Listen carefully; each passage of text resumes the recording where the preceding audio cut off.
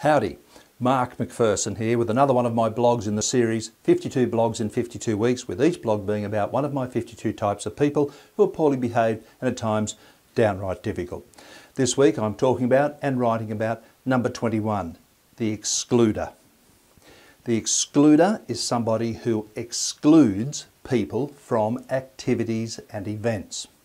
Now the excluder uh, is a classic schoolyard bully.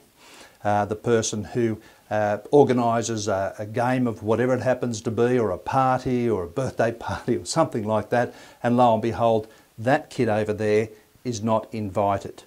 Now, you're allowed not to invite people, but if it's all about bullying, that that kid's not wanted as a part of our group, we don't like that, that kid for whatever reason, and that kid is always excluded from things and activities where they should be included, then not only is it unfair, it's downright despicable.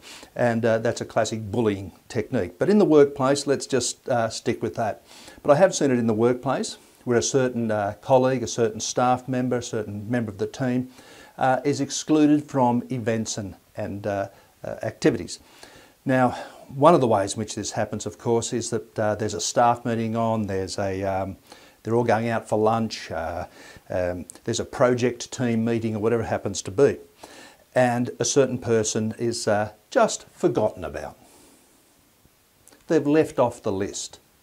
You know, we hear the uh, excluder say things like, oh, oh, didn't you get the message? Oh, you were meant to. And you sort of know in your heart that, that they they deliberately left you off that, that list. So the excluder excludes that person or that person out of activities and events uh, to the detriment of the, that person they're excluding and to the betterment of the person who's uh, not including. The excluder benefits in some way. It's often not just a case of not liking someone, but they benefit by being the, uh, the sole um, representative of the team or something like that.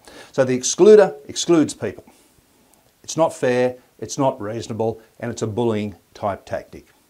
If you'd like to talk about the excluded and how to deal with them, please uh, get in contact with me. Always happy to have a chat. Always happy to hear your stories about uh, poorly behaved and difficult people uh, as well. Uh, I think I've got in my 52 types them all covered, but you never know. Perhaps you've got uh, one for me that I could, can add. Uh, I hope not. I hope you don't meet too many of these people. But anyway, whatever you're doing, Look after yourselves, look after your family, stay safe, all the very best. Don't hesitate to get in contact with me. Go to my website, go to the contact page.